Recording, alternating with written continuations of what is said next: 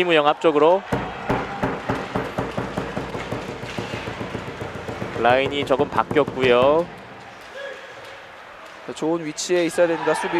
네, 테러 유리 빠른데요. 레프리 손이 올라가 있습니다. 테러 유리, 테러 유리 들어갔습니다. 테러 유리가 결국 오늘 먼저 골을 뽑아냅니다.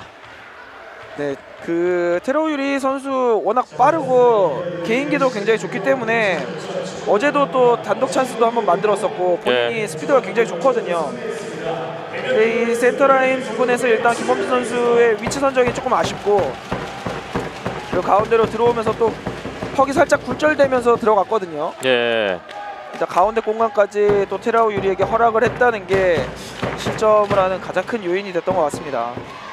테러 유리 선수의 선제골 올 시즌 자신의 다섯 번째 골이었습니다. 최근 9경기에서만 4골 9도움을 기록하고 있는 테러 유리 선수네요.